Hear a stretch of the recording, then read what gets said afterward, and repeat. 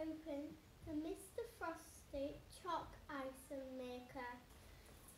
You will need 400 grams of any yogurt you will like, 150 grams of chocolate, and how many sprinkles you want to put on. Put the yogurt into the mould. First you're gonna put, put the sticks in,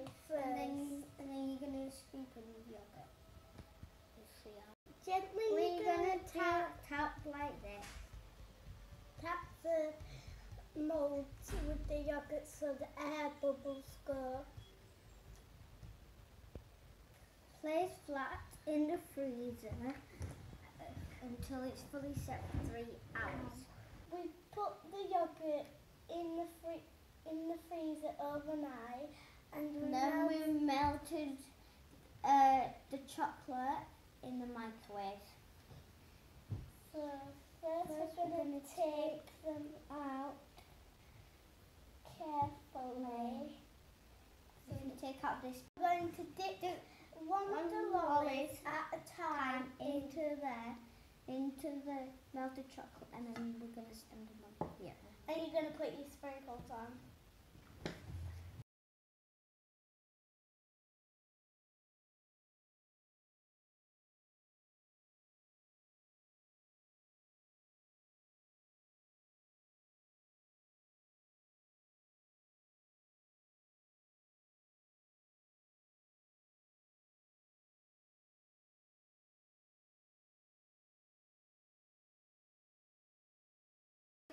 Eat our Mr. Frosty's ice lollies.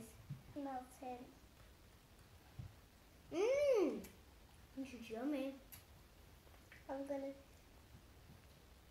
try this one.